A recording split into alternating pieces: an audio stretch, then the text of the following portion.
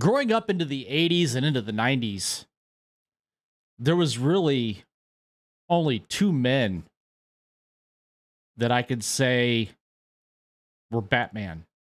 The first one being Michael Keaton uh, in his two Batman movies, Batman 89 and Batman Returns.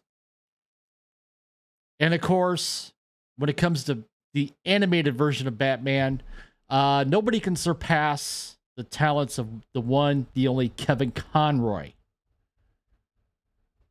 Who those of us that watched Batman the animated series in the 90s and even into the 2000s with uh, Justice League Unlimited know that iconic voice. And it was amazing how he was able to separate Bruce Wayne from Batman with the different tones, inflections, whatever between the two characters. And for those of you that might remember earlier this year when Suicide Squad Killed the Justice League came out and they deleted Batman, they really did Kevin Conroy dirty, in my opinion. And it's just not my opinion, it's the opinion of others too. Well, folks, now that can be corrected. Because in DC Animations Crisis on Infinite Earths Part 3, we get to hear Kevin Conroy one last time. And I'll tell you, after watching this clip, um, man, it it is it is so apropos when you understand the context of this final of this scene. So hopefully I don't get copyrighted by Warner Brothers Discovery for playing this minute clip, but I'm going to play it and share it with you.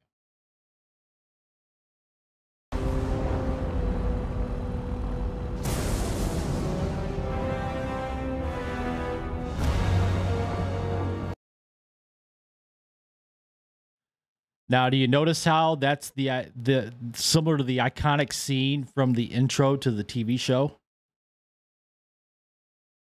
For those of you that remember the the Batman the animated series TV show, that that is so striking, and and to me it's powerful.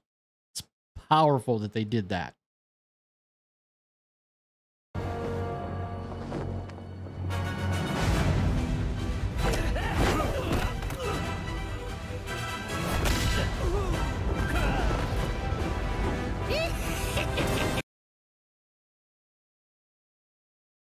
Now, even though Mark Hamill's a total jackass, for lack of a better term, and I, as others, have been crapping all over him.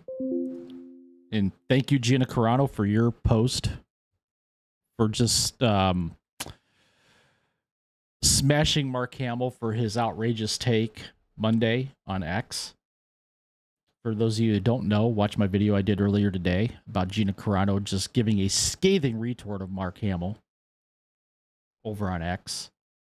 But Mark Hamill, like him or not, he is the definitive Joker. He he is the voice of the Joker. He's the Joker. Some would say he's a Joker in real life.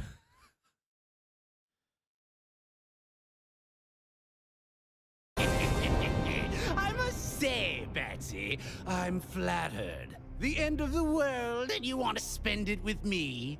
I didn't know you cared.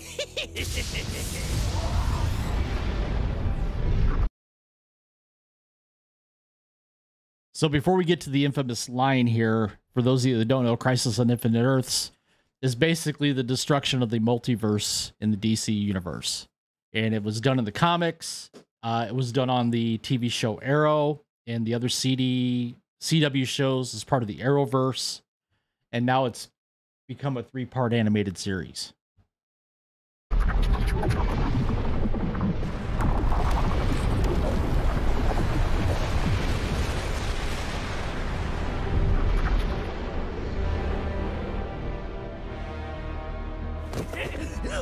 I care, Joker. About Gotham. About justice. And if it has to end, at least I go out like this. Being Batman.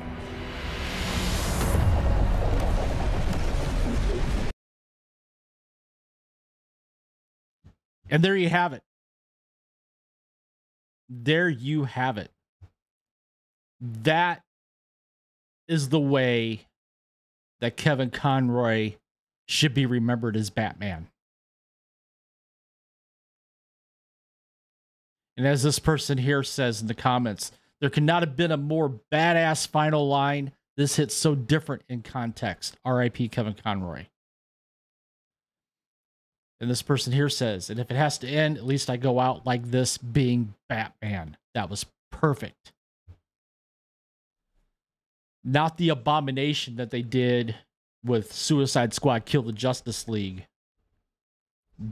doing Kevin Conroy a disservice. This was the perfect way for Kevin Conroy to be remembered and for him to go out as the Dark Knight. So, what do you guys think? Have you seen this clip yet?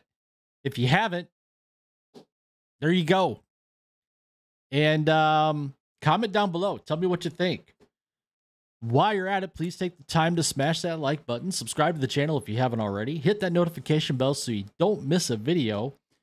Share this video out there with your friends and family. And with that, I will see you guys later.